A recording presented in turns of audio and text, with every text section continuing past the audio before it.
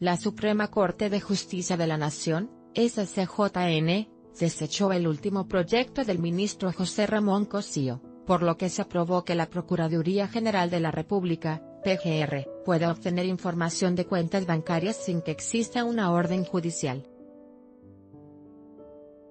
Con criterios encontrados, seis de los once ministros que integran el pleno de este órgano jurídico, rechazaron la invalidez del artículo 142 de la Ley de Instituciones de Crédito, y el papel que juegan los ministerios públicos durante una investigación en donde el acusado haya incurrido en delitos como defraudación fiscal, enriquecimiento ilícito y lavado de dinero.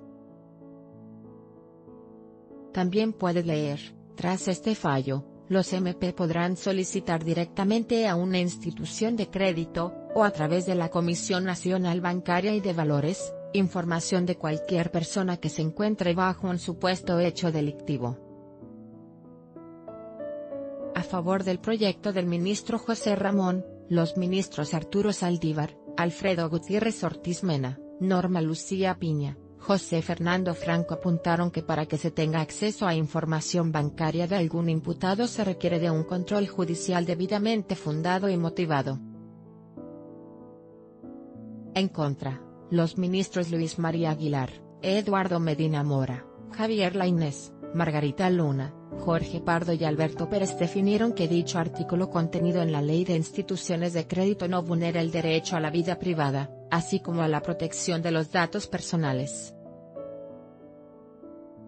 Ante el rechazo, se instruyó turnar el proyecto a otro ministro de los que votaron en contra para proceder con su análisis, al ser la última ponencia de Cosío Díaz en el pleno de la SCJN. Cabe mencionar que no existe un criterio firme sobre este tema, por lo que los asuntos similares a este caso que se revisen en la primera o segunda sala del más alto tribunal del país continuarán con los mismos criterios que han mantenido.